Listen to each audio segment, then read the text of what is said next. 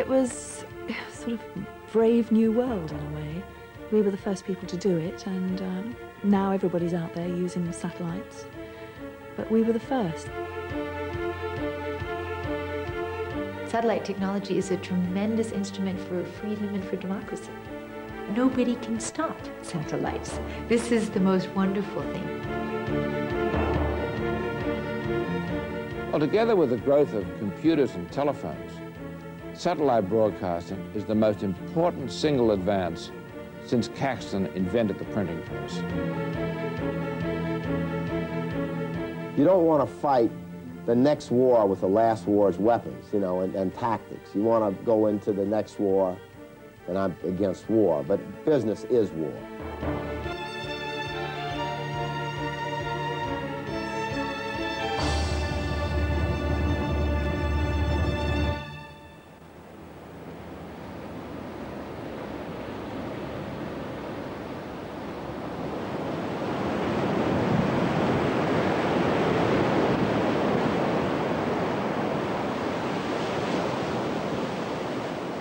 Mike Fitzpatrick was one of the first people in Britain to own a satellite dish. Now he's making sure he has the freedom to choose channels from all over the world. This is my window on the world, my satellite dish. It's currently pointing at a satellite above the Indian Ocean. It's at 63 degrees east of south. On that satellite you get channels from Iran and Italy. And as I motor it around, we're now going past some satellites which carry Russian television, Arabian satellites, German satellite, Turkish satellites. The first thing I do when I get home at night is uh, make myself a cup of coffee. And I sit down, grab my satellite remote and look and see what's new. And it's uh, quite tremendous to think that you're sitting here in Britain watching a channel, there's somebody over in Crete or in Egypt or Tunisia or South Africa or in Moscow is also watching. On top of all these channels, which are uh, virtually full-time transmissions, you also get occasional transmissions of two or three hours a night, or maybe only two or three hours a week. And things like Vatican TV is a good example of that. Um, I'm not quite sure what language the Pope's speaking in today. I used to work in Norway, and in Norway they have one. They had only one channel at that time, and it was eight o'clock. And the main programme of the evening was how to grill fish. At that point, I think I cracked. I had enough. And uh, I resolved there and then I was going to get a satellite dish. I wanted choice. The desire for choice is making satellite television an immense and highly competitive global business. But satellite is also causing fierce political debate. Some argue that it extends freedom and democracy. Others fear that it will ravage the world's diverse cultures, threaten national sovereignty, and undermine traditional broadcasting. What is certain is that satellites are changing the world at breathtaking speed.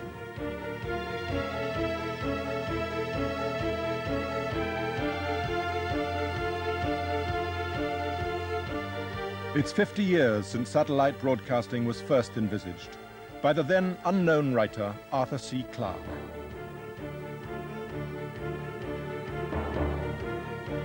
1945, I was in the Air Force. And I conceived the idea of using satellites as relay stations out in space, far enough away from the Earth for a single satellite to beam programs to half the planet. And I knew that at a certain distance from the Earth, the satellite would take exactly 24 hours to go around the Earth, and therefore would appear to be fixed in the sky, the concept of the geosynchronous or stationary orbit. That was the obvious place to put such a satellite.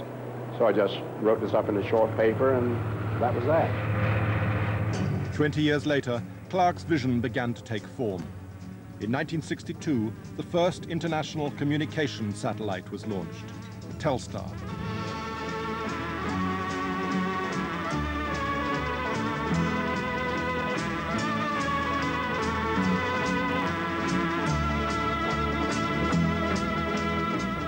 In a very few minutes, you're going to see those pictures that are on the monitors now, transmitted live across the Atlantic, 3,000 miles. No tape, no recording. Everything's happening as you see it happening. My name's Richard Dimbleby. I'm talking to you at the moment from the control room of Eurovision in Brussels. Hello, America. Are you receiving our pictures from Europe, please? We now have Big Ben on our monitors here, Mr. Dimbleby. So go, Europe, go. Hello, North America. July the 23rd, 1962.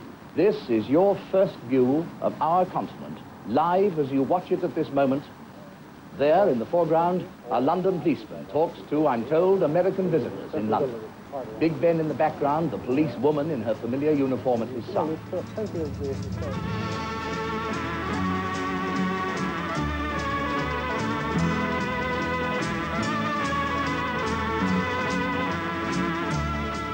Ladies and gentlemen, we have just been informed that this baseball game is being seen in Europe right now over the Telstar satellite. Let's give all the baseball fans in Europe a big hello from Chicago.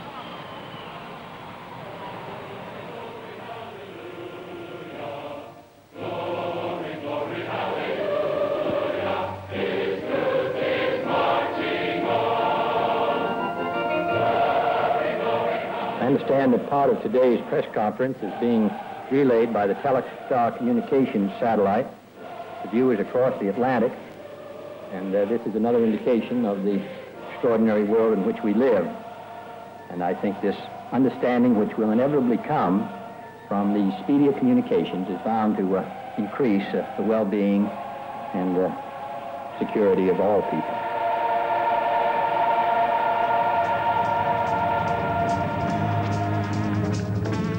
That was an experiment which demonstrated satellite's potential.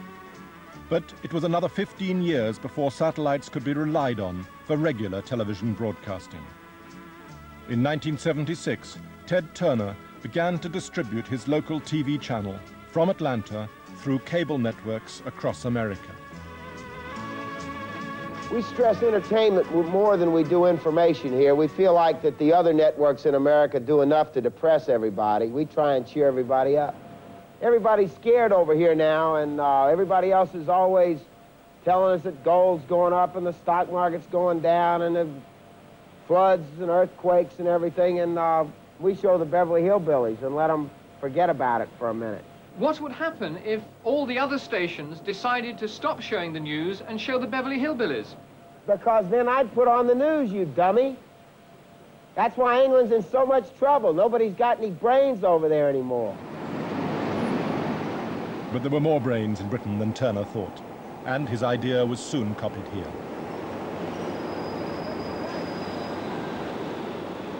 In 1982, Sally Harrison presented Europe's first ever satellite TV program. In those days, Sally and Amanda Cuthbert were colleagues. They were part of a small, adventurous group who became the first broadcasters of the new satellite era. How long ago was it?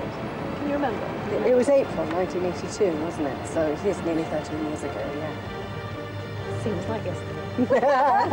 may do for you, it doesn't do for me. oh, it was, it was very exciting, and we were all new to it. Well, we were starting a brand new broadcasting service, a brand new way of transmitting television programs. And that night was the first night of, of the revolution, if you like. Well, changing the face of broadcasting. Well, we were the pioneers, weren't we? Together, they hosted the first night of satellite broadcasting in Europe.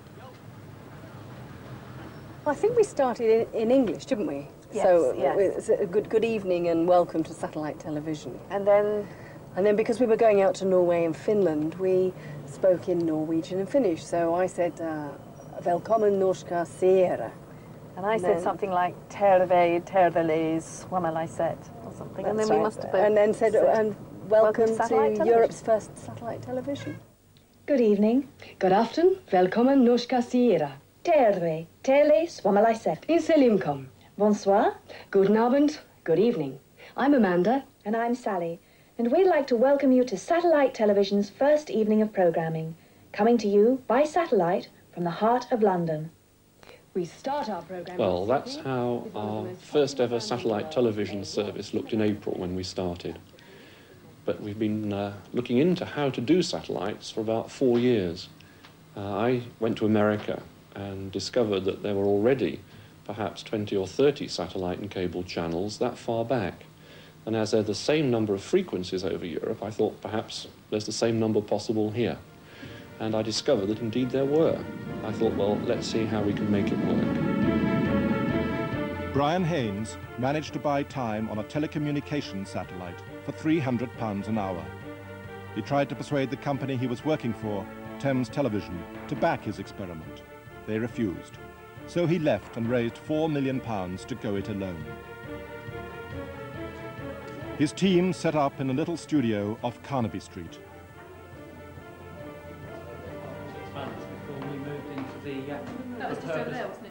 Programs were broadcast by satellite to regional centres and then carried on cable to people's homes. But the company had to fight hard to get on air.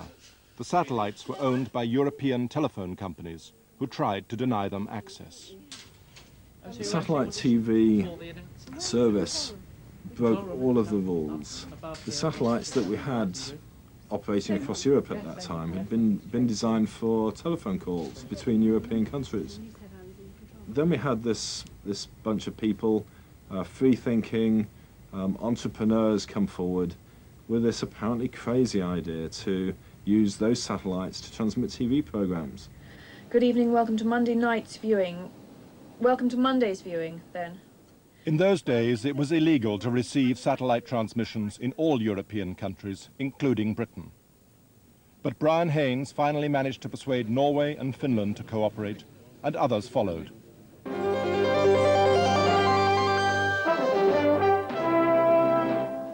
Energy from the satellite falls down over the whole of Europe, all the way from North Africa, right, right over Russia, all the way up to the Arctic Circle. And on the yellow pins, which we've got here in Helsinki, uh, here in Oslo, and down here in Zurich, altogether there's about a third of a million homes connected and able to watch tonight. And of course, it's growing slowly all the time. But the technology was untried, and the staff often had great difficulty even finding the satellite in the sky. Every night was a new challenge because as we were broadcasting on a test satellite, which was actually quite old and could be unreliable, we were on a knife edge on many occasions, um, wondering when and if we would actually get on air. On one particular occasion, um, we had just begun transmissions and we lost the uh, signal from the satellite. When we uh, spoke to British Telecom, it proved that a repeater station between London and Martlesham had in fact got a fault and the only way that this could be fixed, because it was an unmanned station, was that the duty engineer had to go out on his bike a number of miles to a hilltop to fix it before we could continue broadcasting. It was the first time anybody had put together a pan-European type of programming. So we were thinking, obviously, very much how channels worked here, but we had to think, well, you know, the Europeans are watching this, so we've got to get comedy, visual things. Um, and I do remember that I think it was a documentary um, where basically these elephants were kicking this ball about. As well as buying cheap programming from abroad, they showed British golden oldies. But after a year, the money ran out, and the company's backers lost confidence. Then a media mogul began to take an interest. We were looking for more investment in the company. And then two journalists turned up one day and had a snoop around, Australian journalists, uh, which uh, later on we discovered were Murdoch's men on the ground sniffing the, the place out. Clearly, we, we, we were anxious not to reveal our identities because obviously our company had a, a, a high profile in media. And, and this was such an experimental environment. We didn't want to get too many people too excited about our interest. So it's true that we, I wouldn't use the word undercover, but we were working pretty hard not to reveal our identities. Their report was persuasive. In 1983, Rupert Murdoch, already the owner of Britain's News of the World, Sun, Times and Sunday Times, decided to buy Satellite TV Limited. He changed its name to Sky Channel. We tried very hard to keep it British. We tried very hard not to sell it to, to Murdoch. Uh, but in the end, his pockets were the deepest. And after we'd sold it, we were summoned to his office in Gray's Inn Road. Split level office. We sat on the lower level in our big bungee sofa. Mm, He sat at his desk, considerably higher than us. And just said, Well, what have I bought?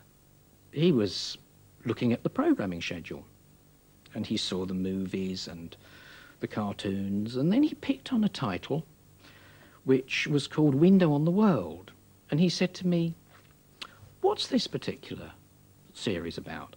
And I said, Well, I've bought a series of documentaries. And he stopped me and he said, Ah, I know what you've done. You've bought a load of crap and given it a good title. And I thought, Oh God, you know, this is a good start. Then he laughed and he said, Don't worry, we do exactly the same in Australia. Thank you, Kate, and welcome everybody to the Sky Channel. The government had changed the law, so satellite television could now be received in Britain. But it was only available through cable, so the British audience for Sky was very small, about 10,000 homes in the test area of Swindon. I can remember in 1984 Rupert Murdoch saying to me, this thing is not going to be a business until you can deliver a satellite signal to a dish the size of that coffee table. And I can remember looking down at this coffee table and thinking, it's technically impossible. In Luxembourg, the impossible was beginning to happen.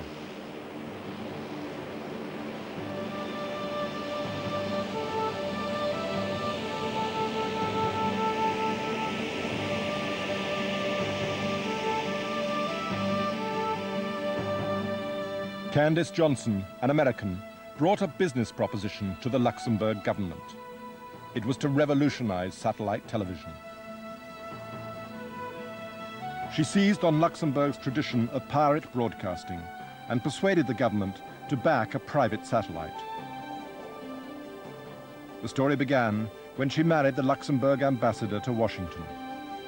I had visited, of course, Luxembourg before I married my husband because I had to be approved, which was a very funny thing.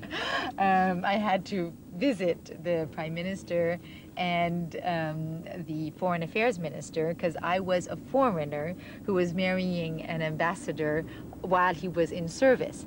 And so my mother bought me a new suit and I flew to Luxembourg to, to be approved.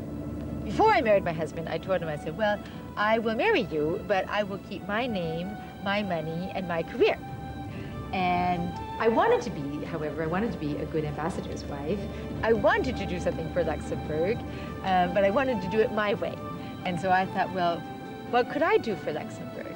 And I come from what I call a satellite family. Uh, my father was one of the first pioneers in satellite uh, communications.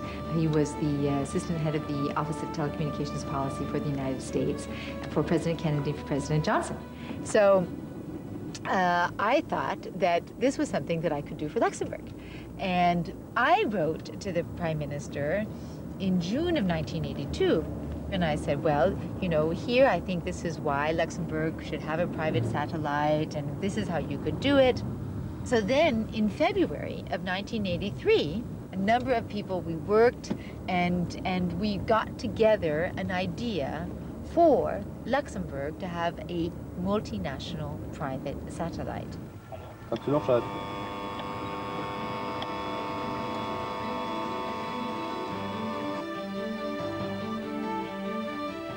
The European broadcasting bureaucracy was horrified. All the European governments were working on a master plan to regulate television satellites. So they were shocked when this new company, SES, announced that it was going to broadcast from a private telecommunications satellite that was outside their plan.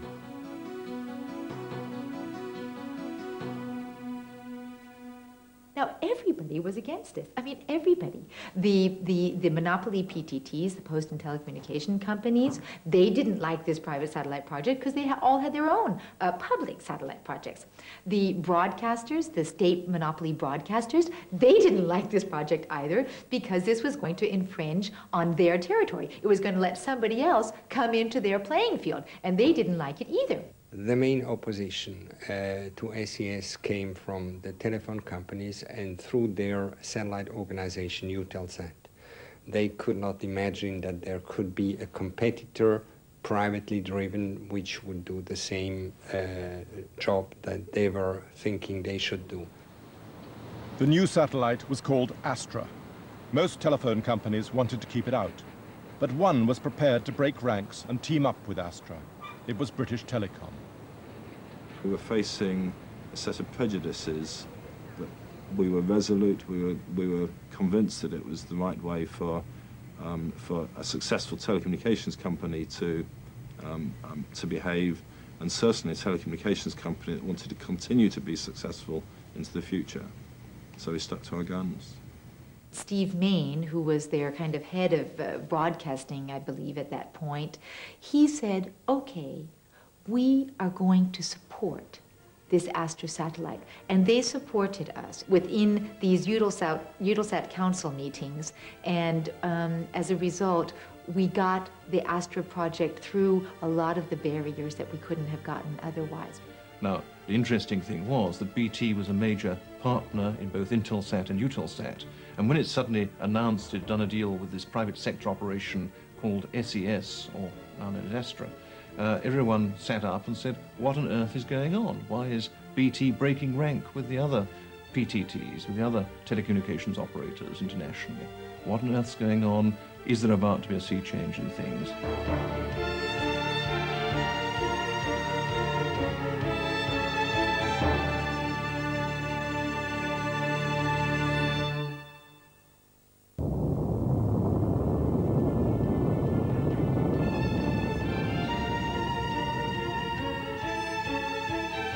In the mid-1980s, Britain was still wedded to the official European plan for regulating satellites.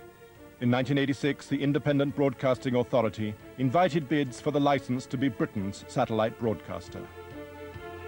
One group has emerged which we believe contains the reality of the present with the vision of the future.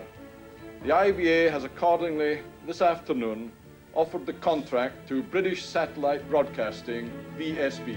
BSB had won the prize, but it carried stringent technical conditions. BSB was not allowed to use the old PAL transmission system, but had to invest in a new, high-quality system called DMAC.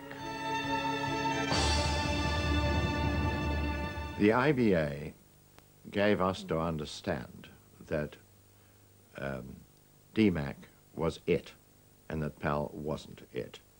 Uh, we pressed them on this very strongly. And I remember the IBA engineers explaining that the PAL signal was of a quality that would never be acceptable to people who saw off-air television in this country in all its glory.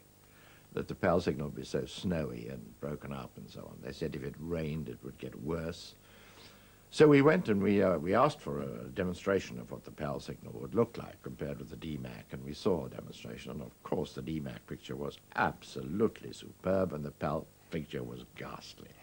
Um, we were leery a bit about this, but we were told by the, the body that was offering the franchise we had to use DMAC, so we planned for DMAC. The technical requirements, of course, were completely beyond me because I'm, I'm, I'm, I couldn't even change a wheel on a car. Um, uh, but people spoke extremely well of them, and these were people that one, of course, rated. Uh, and I think that probably the most reassuring thing I thought was that at least these people had got together, I think it was 250 million pounds, and they weren't um, fly-by-nights. Uh, so I thought it was good enough for them, but probably be good enough for me. BSB was required to build its own satellites. At the time, both the authorities and the broadcasters believed that only a high-powered television satellite could carry a clear signal to individual homes. In their view, the job could not be done by a medium-powered satellite like Astra. But in Luxembourg, they thought differently. Plans for Astra were already underway. Well, every company in uh, Luxembourg that is worth its salt has a uh, chateau. And so, you know, I'm American, and coming to Luxembourg, which has more than 100 chateaus, although many of them are in ruins, I said, well, it's very clear we have to have a chateau for the satellite. We then drove around on a Saturday uh, in Luxembourg, and of course, you know, Luxembourg is not that large, so we could kind of go and visit all of the possible chateaus. And then we saw this one and it was in a protected uh, area, and uh, it was, of course, in a ruin, um, but it, it was possible that maybe we could get it. Then, of course, we decided that we would not put all of the technology into the chateau, that this would be primarily the offices, the administrative offices. And so then we had a technical facility, and the technical facility, the first one that we had, is actually this building that you see down there. The Astra dream could now become reality. Technical advances meant that signals from medium-powered satellites could be picked up on small dishes. Astra reception is as easy as ABC. For direct-to-home reception, all you need is a small fixed dish antenna of 60 centimeters or more, correctly aligned on the orbital position of the satellites. Rupert Murdoch saw the opportunity that Astra offered. His Sky Channel still only reached a few thousand cable homes in Britain.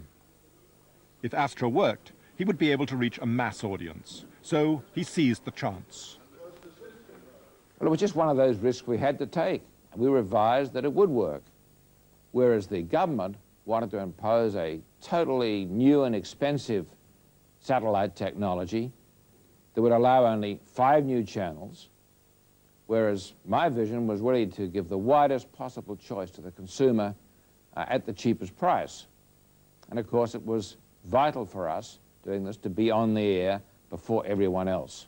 The contact with Mr. Murdoch was a breakthrough, and I think it was a breakthrough. I think it was important because Mr. Murdoch was so committed to satellite television. I mean, he came there and he said, okay, we are going to make a new world.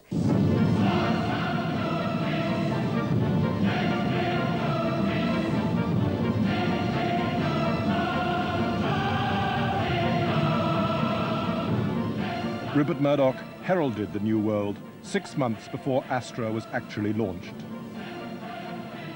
He would have to invest 1.8 billion pounds and risk his company to establish his new service.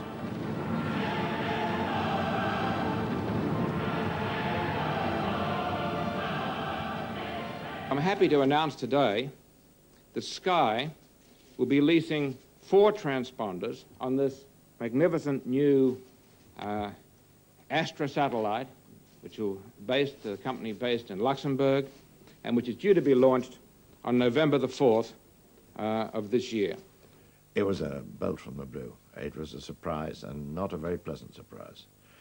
We then hoped, hoped that the IBA engineers were right and that the PAL signal would be unacceptable.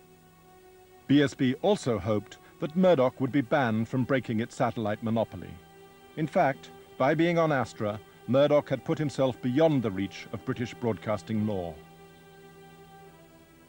In reality, what happened was that the uh, Thatcher government of the mid-80s was uh, willing to allow Rupert Murdoch to come in with an alternative way of delivering satellite broadcasting to the people of the UK, uh, and indeed uh, some might even say that uh, uh, this shows that the person who says boo to government regulators is the one who gets away and does best out of it. Did you try to get the government to stop Murdoch at that stage?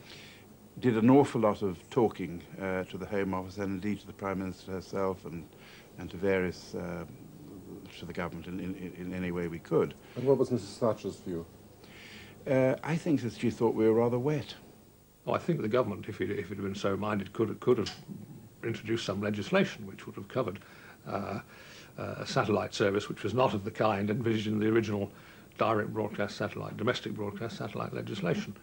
Uh, but it did not do so, and certainly we had no powers uh, to, uh, to uh, either to license uh, Sky or to prevent it operating. Everybody in private thought this was all terrible, but in public, that was not the case. They thought, in private, people thought what was terrible? Well, there's too much power going to Murdoch was not a good thing. having television coming into this country that was in no way controlled worried people.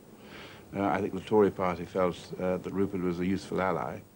The Conservatives' opponents and some broadcasters argued that Murdoch was benefiting unduly from this relationship. But nothing was guaranteed. The risks were enormous. Le redémarrage de la chronologie aura lieu sans préavis. The launch of Astra was a tense occasion, and the first attempt had to be abandoned. I sat there in the control room. and I thought, my God, how could I have done this? And the next day, uh, we were uh, on an island near the uh, Kourou launch site, and it wasn't clear if the satellite was going to go up that night either. And I was really getting worried. And then Mr. d'Allest, the president of Arianespace, came. He gave me a kiss on two cheeks, and he said, Madame Johnson, on va lancer votre satellite ce soir. We will launch your satellite tonight. Not only does the future of our company SES depend on this successful launch, but also it affects the jobs and the lives of a great many of people. The atmosphere in the room was a very tense atmosphere. People didn't even dare to speak amongst themselves and in the last moments you almost heard the heart beat of each of the people waiting if it was successful or not. 8, 7, 6, 5, 4, 3, 2, 1, top. Allumage, premier étage. Décollage.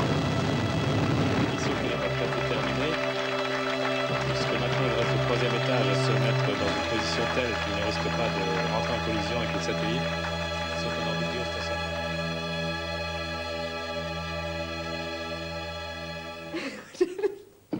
it was really one of the happiest moments of my life. so I started crying then, just like I did now.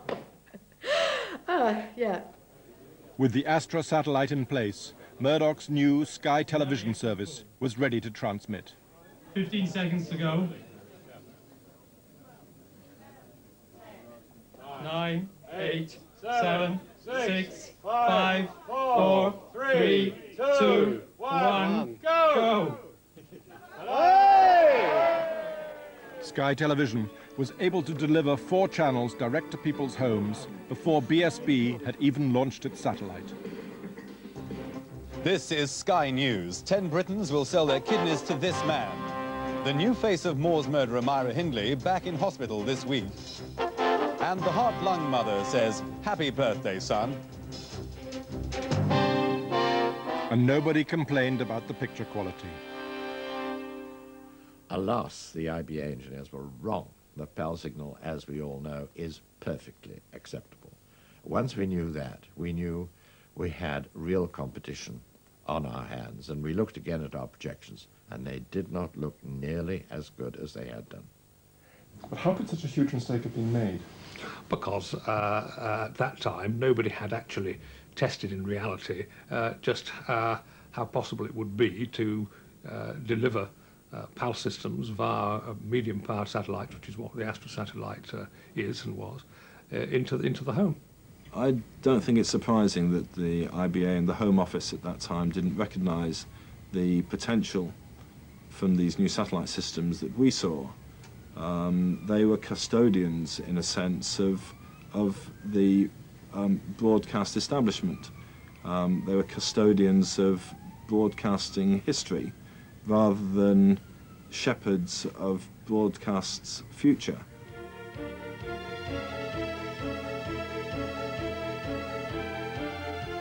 BSB recruited from the British television establishment and aimed to produce programs in the public service tradition but achieving the technical specifications laid down in the franchise meant that they were late getting on air. This gave Sky a crucial head start.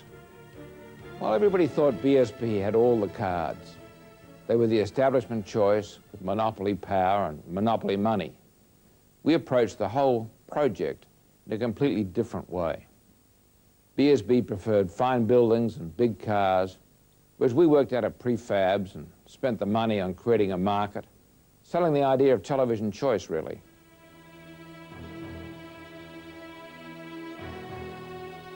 The war between BSB and Sky was relentless and nearly destroyed them both. We were losing money, very, very heavily. But the same was true of Rupert. He was losing money, very, very heavily. And it, you know, it was a slow bicycle race. I don't know who was losing it quicker than the other one and who was going slower, not wanting to merge. But it was clear as can be that a merger must take place if the thing was going to be viable. Six months after BSB went on the air, Sky and BSB suddenly announced a merger. Joint deputy managing directors will be Sky's Gary Davey and BSB's Ian Clubb. The merger brings to an end a satellite war, with both parties claiming tonight there can no longer be a loser in the TV space race. The new company was called B Sky B and was owned equally by Sky and BSB shareholders. But to the outside world, it seemed like a Sky takeover. I've heard the word bloodbath used a lot. I mean, a lot of people tried to portray it as this terrible slashing that was going on, but it was a, it was a business reality, uh, and everyone knew it had to be done. There was no there was no painless way to deal with it. The Australians strode in. Uh, Rupert sat at my desk. Uh, there was that little chap who, who, who's done very well for them who sort of tore down all the non-smoking signs and got through his 60 a day, and there was a sort of violation. It's wonderful. I mean, I, I, I do admire Rupert. I think, you know, you just clean out everybody, and therefore there can be no sort of tribal warfare twittering on, as so often happens when you get murders. I mean, I think that we were killed to a man. So ended the first battle of the satellite wars. A lot of blood had been spilled, but the loser kept 50% of the spoils. The clash proved the importance of being first. Murdoch was first with the dish and the first to understand the potential of the Astra satellite. After his success, the other satellite broadcasters clambered aboard and Astra became the hotbird of Europe. But Europe was only the beginning. There was an even bigger market waiting on the other side of the world.